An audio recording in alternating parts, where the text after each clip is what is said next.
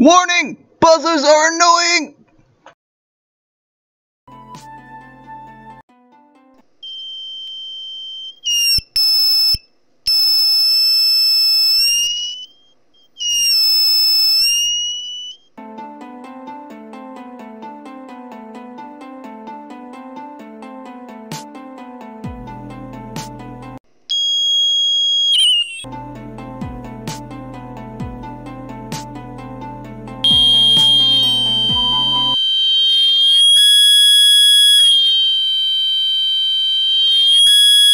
The potentiometer buzzer.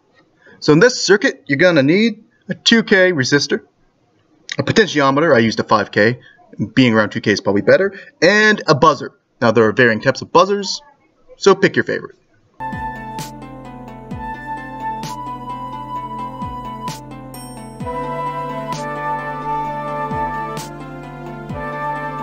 Red, black, red, 2K.